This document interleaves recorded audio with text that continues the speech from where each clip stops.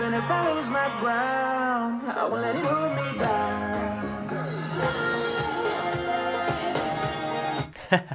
pois é, pessoal, essa é uma função bem legal que o Amazfit Verge oferece, que é o caso de ter memória interna, você poder colocar música diretamente nele e transmitir via Bluetooth para uma caixinha de som, que talvez não seja o mais ideal, e sim um fone de ouvido Bluetooth para quando você estiver fazendo suas atividades físicas, poder escutar suas músicas aí sem a necessidade de um smartphone. Isso é legal, isso é bem interessante e eu vou falar mais sobre as características desse smartwatch, que sim, eu passei alguns dias testando e vou contar para vocês o que, é que eu achei legal e o que, é que eu achei não tão legal assim dele. A Amazfit Verge. E lembrando a você que ainda não é inscrito no canal, para se inscrever, ativar o sininho para receber notificações sobre os novos vídeos, clicar no gostei, porque isso é muito importante. Coloca aí nos comentários se você tem algum smartwatch e se tiver, qual é o modelo. Beleza? Então vamos lá, vamos começar aqui pela aparência. Temos aqui, eu vou tirar do meu braço para ficar mais fácil para mostrar para vocês. O Amazfit Verge tem uma tela AMOLED se diferenciando aí dos outros modelos anteriores, o Stratus, o Pace, o BIP, entre outros, né? Sim, ele tem uma tela AMOLED, é uma tela bonita, bem bonita por sinal, olha só. Dá para enxergar até quando você está debaixo do sol e tal. Claro que diminui um pouquinho ali aquela visibilidade, mas sim, dá para utilizar. Eu estou utilizando aqui essa watch face, essa aparência aqui, mas ó, se a gente segura aqui um pouquinho, ele abre as outras aparências, dá para mudar pelo aplicativo do smartphone também. Olha só, e tem uma variedade imensa de outras aparências. Eu particularmente gostei muito daquela, ó, olha só. Mas tem umas aqui com mais opções, com mais... Tem relógio digital, tem o analógico, aquele no caso ali era o analógico. Vou botar essa daqui só para vocês verem como é que fica a, a diferença. Viu que está o símbolozinho ali do Bluetooth? Olha só por quê? Porque está conectado com a minha caixinha de som aqui, olha só, da Blitzwolf. Essa caixinha de som tem uma qualidade realmente muito boa. Tem vídeo dela aqui no canal, se você quiser assistir depois, está nos cards. Mas o assunto aqui é o smartwatch. E sim, vamos falar sobre ele. O que, que eu achei desse smartwatch, né?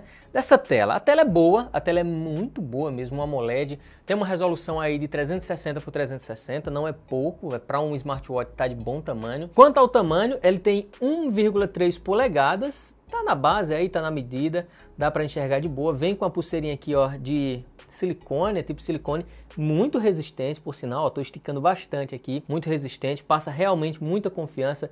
Tem aqui, ó, os leitores de batimentos cardíacos e monitoramento do sono. Ele monitora o sono muito bem, não monitora sonecas, tá? Aquelas dormidinhas que a gente dá depois do almoço, ele não consegue gravar, mas ele pega muito bem a hora que a gente vai dormir e a hora que a gente acordou, questão de sono profundo, é, sono leve. Isso é, é bem interessante.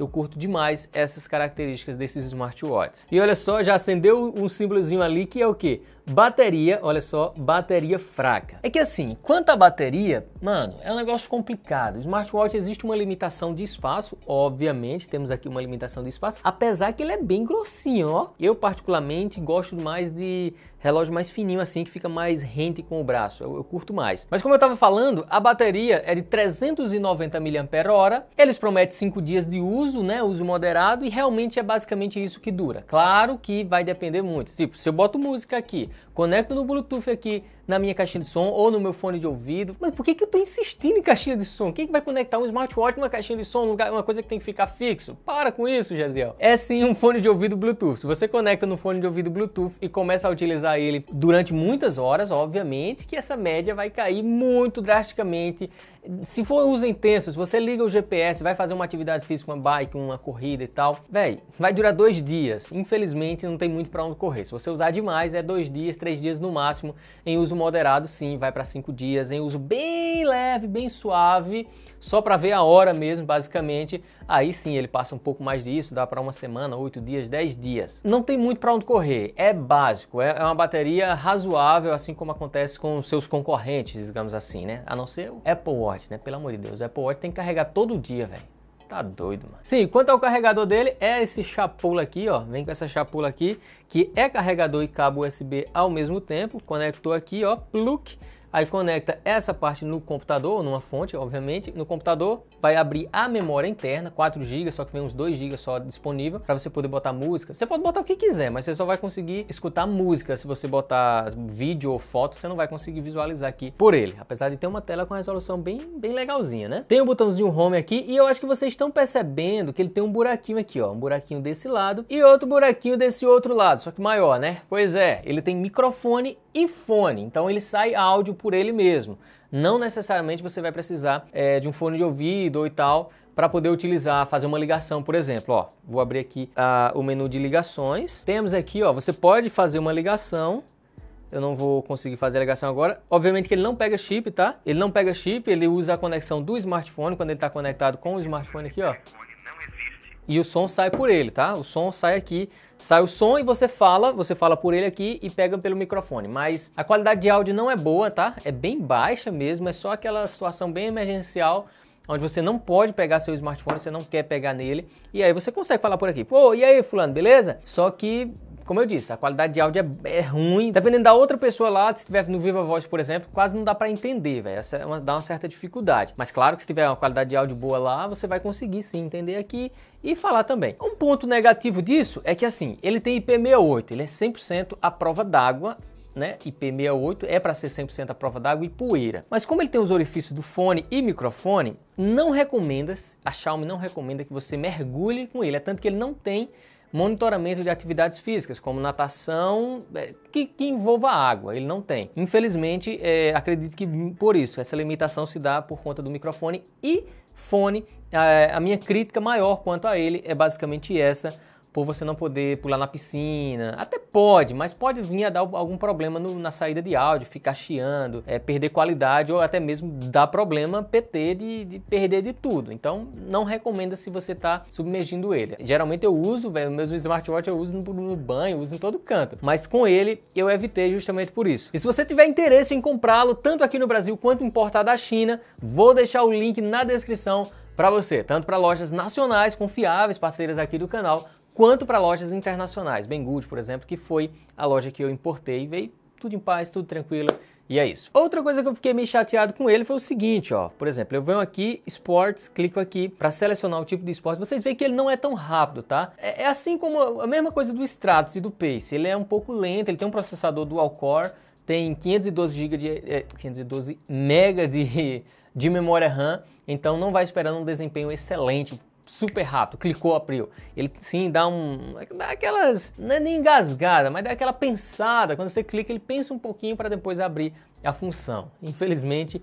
É, é, limitado quanto a isso. Aí temos aqui, ó, ciclismo, temos esteira, temos ciclismo, é, aquelas bicicletas, né, ergométrica e tal. Mas beleza, o que eu uso mais é isso aqui, ó, ciclismo. Vamos aqui, ciclismo. Eu clico aqui, olha só, eu, eu, vou, eu vou ver se vai, se vai ser rápido agora. Ele fica procurando ali o GPS, olha só, procurando o GPS, e aí quando ele encontra o GPS, ele fica verdinho aqui no Go, né? Vai.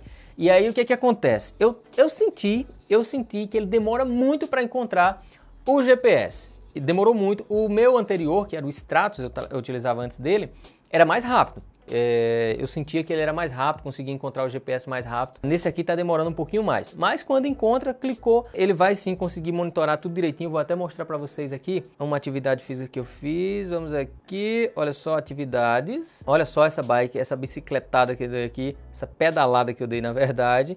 Ele mostra aqui a distância, a distância, 6 km e pouco, é, o tempo, né? Ele mostra tempo, Deixa eu clicar aqui para mais informações. Ó, mostra todas as informações para vocês que eu, eu, cara, eu sou, eu ia dizer que eu era amador, mas eu sou menos que amador, cara.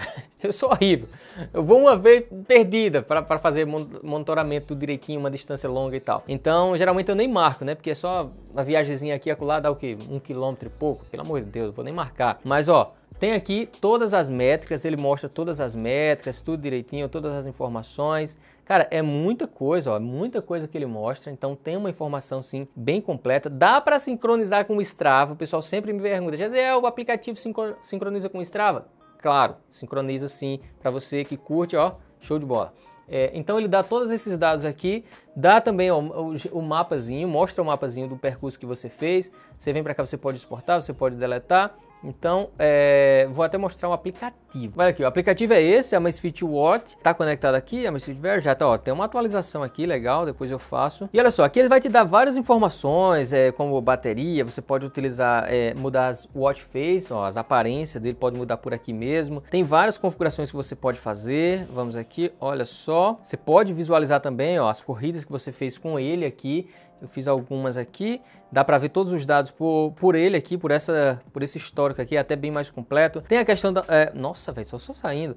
É, monitoramento do sono tem também, olha só, tanto que você dormiu, a hora que você foi dormir, a hora que você acordou, se você acordou durante a noite, ele te dá todas essas informações. Temos aqui é, outras configurações, como por exemplo, podemos adicionar alarme, transferir os arquivos por aqui, ver a questão do tempo, ó, procurar o smartwatch se você Ó, tá até tocando aqui. Então o aplicativo não é muito completo, tá? Não é lá, nossa, que aplicativo incrível, maravilhoso. Mas dá para fazer muita coisa por aqui, dá para sincronizar pelo, com o Strava, como eu falei para vocês. Mas deixa eu mostrar mais um pouquinho sobre a aparência dele. Ó, vou voltar aqui para a tela inicial, no botãozinho Home aqui.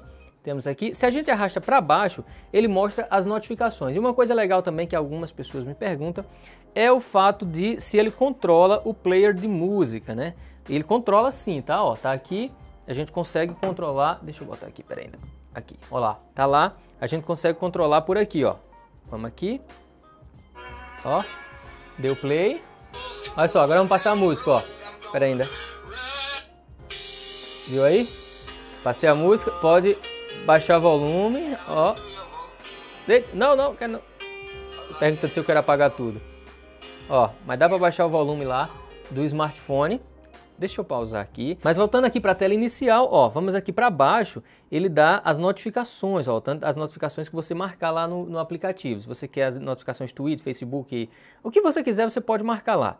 Aqui, por exemplo, eu marquei a do YouTube, o pessoal comenta, vocês comentam aqui embaixo, eu leio as notificações, legal. Tem também Telegram, olha só, tem o Telegram. Um, uma coisa chata é o seguinte, eu nem posso responder por aqui e nem posso uh, escutar áudio, então eu tenho que me contentar com texto. Ó. O cara manda mensagem de texto, eu consigo ler, mas eu não consigo responder, infelizmente, tá? Lê, mas não responde. Bom, e aqui pro lado, ó, se a gente arrasta aqui pro lado, ele vai vir todos os aplicativos, tudo bonitinho. Olha só, tem muita coisa, gente, tem bastante coisa, compasso, tem contagem regressiva, tem o timer, alarme, você pode adicionar alarme por aqui, ó, você pode adicionar um alarme. Pode procurar o smartphone, né? Porque tem a opção de o smartphone procurar o relógio e tem o relógio, ó, olha só, procurar o smartphone. Quer ver tocar lá? Olha lá, olha lá. Tá tocando. Aí eu venho aqui, pera ainda. Confirmar, pronto, encontrei. Ei, para de tocar aí, por favor.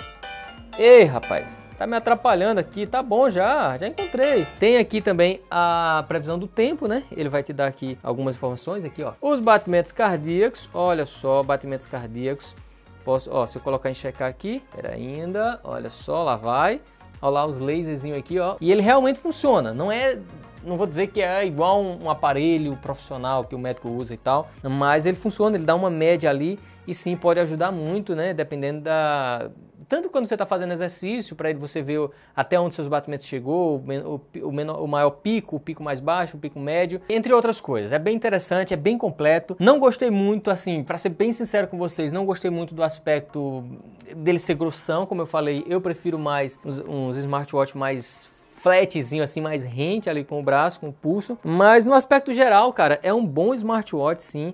Acredito que para a maioria dos usuários ele sim vai suprir as necessidades tranquilamente. Para quem mexe com água, para quem gosta de praticar é, atividades dentro d'água, cai fora, esquece ele. Mas no restante, sim, é uma boa opção abaixo de mil reais, né? Tem opções melhores, claro, mas aí pula lá para, sei lá, dois mil, três mil reais, pelo amor de Deus. Bom, então é isso, pessoal. Espero que vocês tenham gostado do vídeo. Se gostou, já sabe, clica em gostei. Se não for inscrito, se inscreve, ativa o sininho. E é isso, vou ficando por aqui. Um forte abraço e tchau!